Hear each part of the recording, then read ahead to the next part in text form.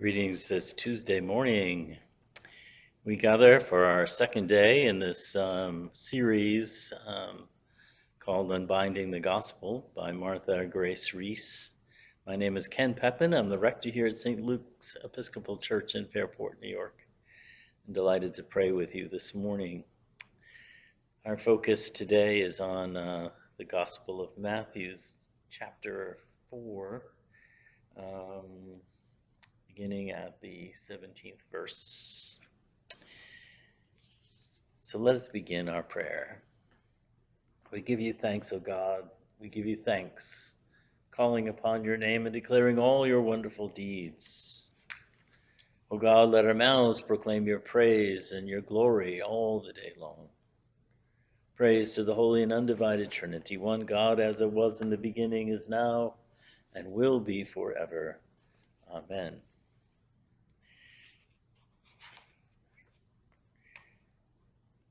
Today we begin with Canticle F, Song of Lamentation. Is it nothing to you, all who pass by? Look and see if there's any sorrow like my sorrow, which was brought upon me, inflicted by God's fierce anger. For these things I weep, my eyes flow with tears, for a comfort is far from me, one to revive my courage. Remember my affliction and my bitterness, wormwood and gall. The steadfast love of God never ceases. God's mercies never end. They are new every morning. Great is your faithfulness. God is my portion, says my soul. Therefore I will hope in God. It is good that we should wait quietly for the coming of God's salvation.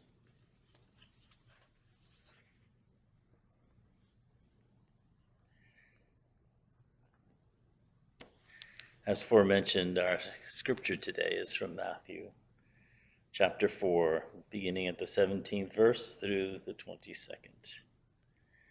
From that time, Jesus began to proclaim, Repent, for the kingdom of God has come near. As he walked by the Sea of Galilee, he saw two brothers, Simon, who is called Peter, and Andrew, his brother, casting a net into the sea, for they were fishermen.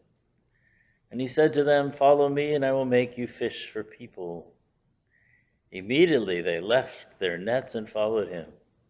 As he went from there, he saw two other brothers, James, son of Zebedee, and his brother John, in the boat with their father Zebedee, mending their nets.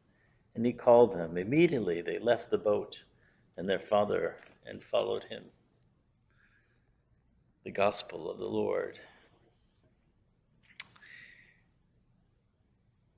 Our reflection today again reminds us of this steadfast love of God that accompanies us throughout our life.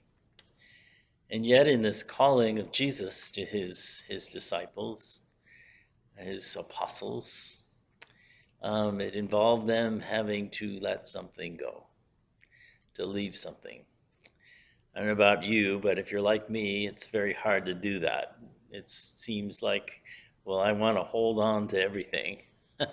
I, I, can do this. I can uh, I can have a relationship with God at the same time enjoy some of these other things that might distract me from that relationship. So I'm sort of living in a in a blended relationship, so to speak. I'm trying to want it all. Um, I've always been like that. I can remember my mother trying to put me down for a nap, and it was like didn't want to nap because I thought I was going to miss something, so I had to stay awake. uh, probably is just a number of quirks I have. anyway, um, I'm sure we all have them. Um, but it's that experience of, you know, what is it in our life is the challenge today to think about is what is it in our life that we're willing to let go of? What distraction? What is there that's really not um, necessary for our survival, for our life, for our for enjoyment of God's blessings um, that we hold on to. That we're holding on to stuff that's just not necessary. Um, and it could mean a grudge. It could be something that we've, you know, some hurt, some pain, something that we've held on to that we just don't want to let go of for fear of failure or fear of something. Or perhaps it's, you know, particular pleasure we have in our life that's just, again, not really serving us, but we don't necessarily want to let it go either. So we hold on to these distractions, these things that keep us from really entering deeper into a relationship with God. And sometimes we we kind of have this idea that, you know, we're sacrificing and it becomes a real negative ordeal to detach ourselves or to let something go.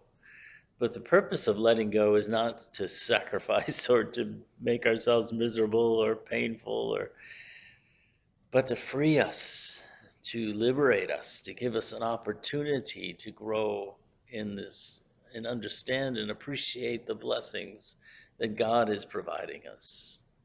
To see in all that we have our sufferings as well as our pleasures, that God is present to it all.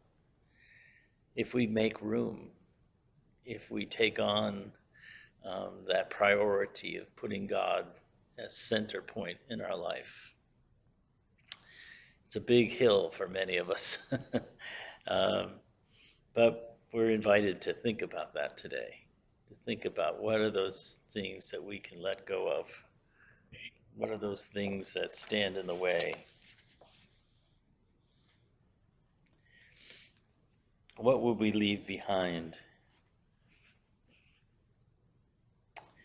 So we pray, O oh Lord, what might I leave behind today to follow you more dearly and